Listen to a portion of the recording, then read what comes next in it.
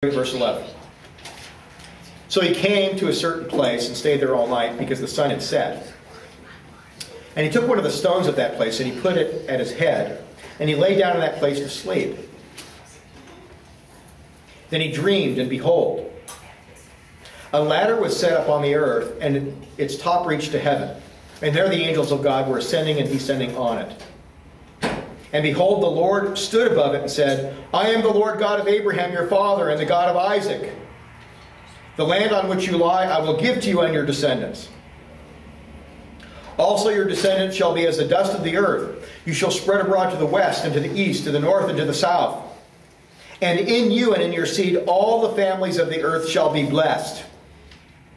Behold, I am with you, and will keep you wherever you go, and I will bring you back to this land, for I will not leave you until I have done what I have spoken to you. Then Jacob awoke from his sleep and said, Surely the Lord is in this place, and I did not know it. And he was afraid and said, How awesome is this place! This is none other than the house of God. And this is the gate of heaven. Okay, that's the word Bethel. It means the house of God.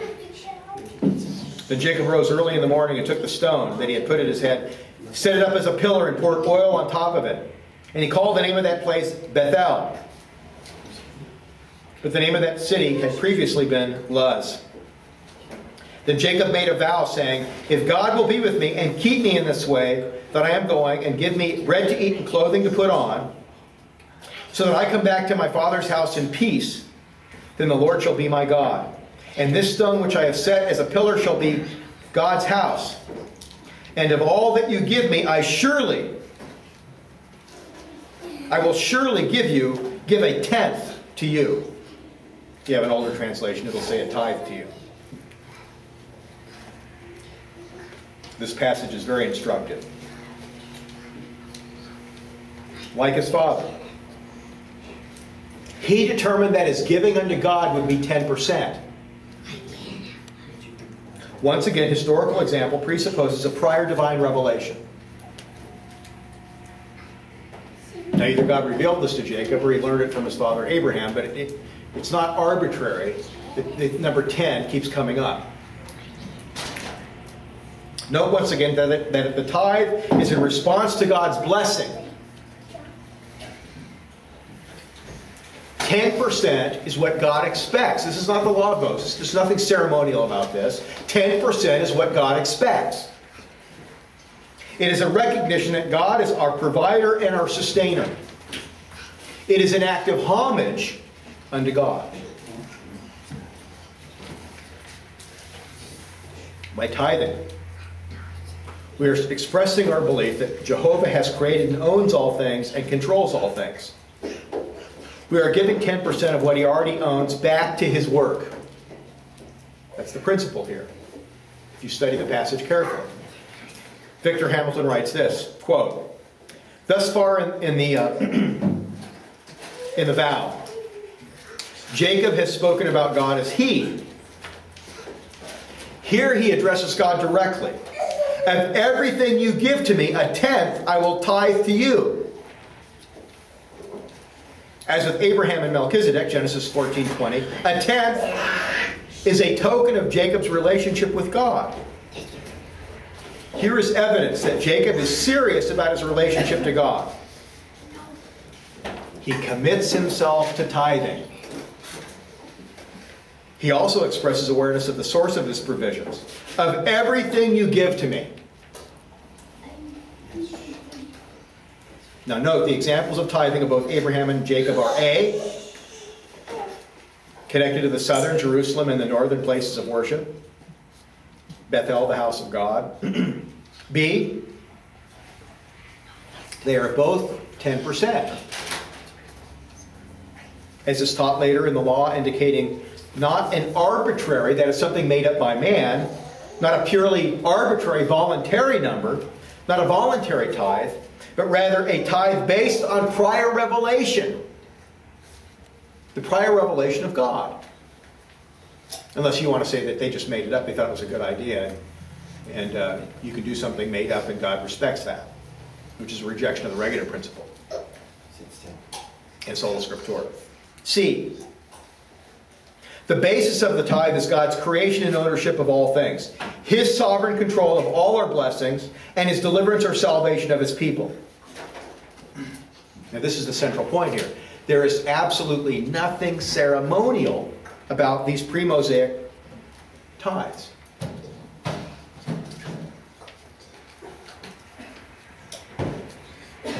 The historical examples of 10% tithe unto God prior to the giving of the law on Mount Sinai are clearly non ceremonial.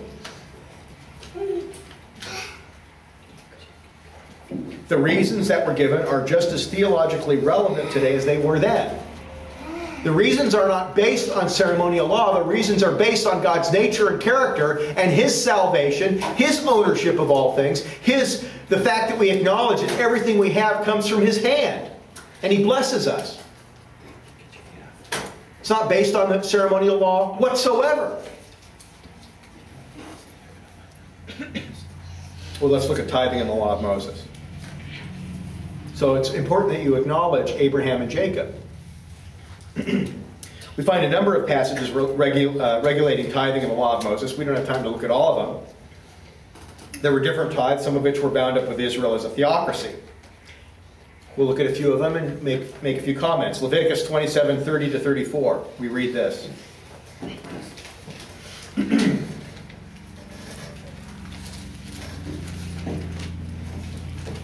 And all the tithe of the land, whether of the seed of the land or of the fruit of the tree, is the Lord's. It is holy to the Lord. If a man wants at all to redeem one of his tithes, he shall add one fifth to it. Okay, the point the point there is, is you have, let's say you have a, a, a bull or a, a goat, and it's extremely precious to you for breeding or something, and you just have to hang on to that bull or goat or, or, or sheep because it's, it's, it's when your special breeding goat. You can substitute another goat for it, but you have to add 20% to it.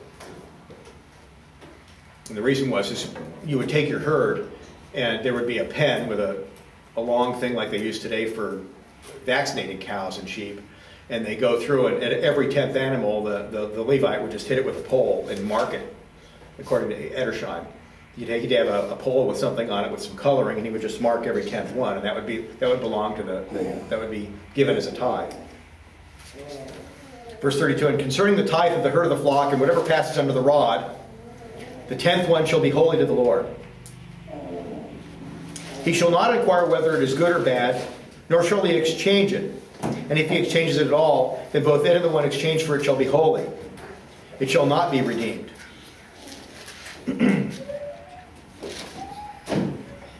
In other words, whatever passes under the pole, you got to give. And if you complain about it, apparently you got to give that and another one too. These are the commandments which the Lord commanded Moses for the children of Israel on Mount Sinai. Here's what the great uh, Scottish Presbyterian scholar Andrew Bonar says of, of this section of Scripture. This is 1846. Free church fella, I believe. 10 like 7 is a complete number. The former means riches, or, I, or you could say uh, perfection, the latter fullness. Hence, the tithe of ten, or tenth is properly what is taken out of man's plenty. when Abraham gave to Melchizedek and Jacob vowed at Bethel, has ever appeared to the godly the most natural portion for men to set aside for the Lord regularly the tenth of all. Among the Israelites, there were several kind of tithes, and yet all were cheerfully paid. The tenth for the Lord, paid to the Levites. Numbers 1821. And the next tenth, consequently, uh, consecrated and uh, feasted on at Jerusalem were given away to the poor. Deuteronomy 7 6 and 23 29. Cedar fruit might be redeemed okay, I was wrong about the animals, it's the cedar fruit might be redeemed, and there might be good reasons for a man wishing to redeem his, this part of the tithe. He might require corn to sow his field or be in need, uh, need of the seed of dates or pomegranates to replenish his orchard. Therefore, permission is given to redeem these, even still with the addition of a fifth, in order to show that the Lord is jealous and marks anything that might be a retraction on the man's part of what was due to the Lord. he may redeem his tithe but it is done, done cum nota.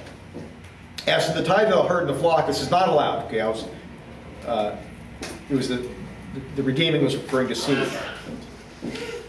The owner of the Levite, whose office it was to tithe, held a rod in his hand and touched every tenth animal as it happened to come forward. Jeremiah 33 13. Whatever passed under the rod, good or bad, was tithed and taken inalienably. The Lord does not seek a good animal, where the rod numbering lighted on a bad is a tenth passed by. Neither does he admit of the substitution of an inferior animal if the rod is lighted on the best in the whole flock. He seeks just what is his due, teaching us strict and holy disregard of by ends and selfish interests. And thus, this book, this pictorial gospel of the Old Testament, ends, by the way, this is the end of Leviticus, the section we read, ends with stating God's claims on us and his expectation of our service and willing devotedness. As the first believers at Pentecost, rejoicing in part in the love of God, counted nothing dear to them, nor said what ought they, possessed was their own, so ought we to live. We must sit loose from earth and true love to our Redeemer will set us loose. This giving up of our possessions at God's call teaches us to live a pilgrim life. And that is an Abrahamic life. Nay, it is a life of faith in opposition to sight. The whole of this concluding chapter has been leading us to the idea of giving to the Lord all we have. It has made it has been making us familiar with the idea and by example inculcating the practice of an unreserved devotedness God should be all in all to us. He is God, all sufficient. That's his commentary on Leviticus 507 to 508. Now, it was generally understood, according to the commentators, that tithes on crops and domesticated animals was, was on the increase from year to year. If you had 10 new sheep born in that year, one of them went to the Lord. Whatever, it was the increase. If you had a good crop, 10%. Deuteronomy, uh, let's look at Deuteronomy 14, 22 to 29. Deuteronomy 14, 22 to 29.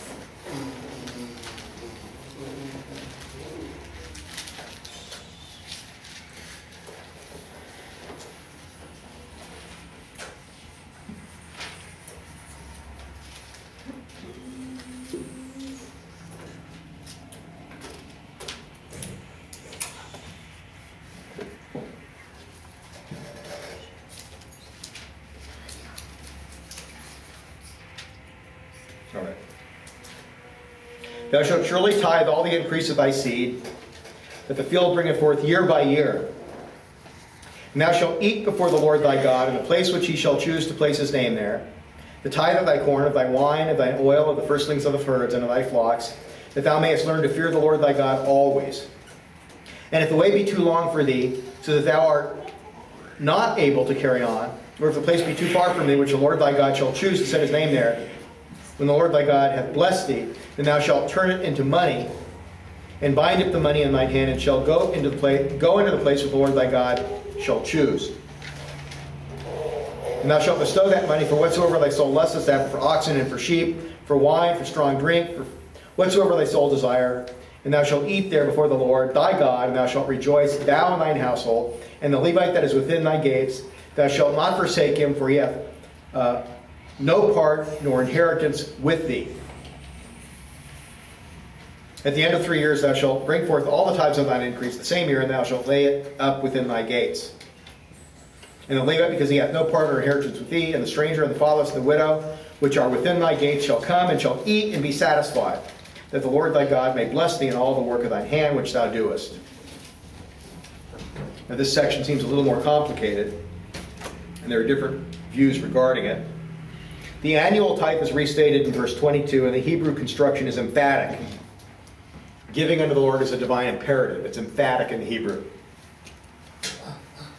In Leviticus 27, 30 to 33, and Numbers 18, 21 and following, we learn the tithe is for the Levites.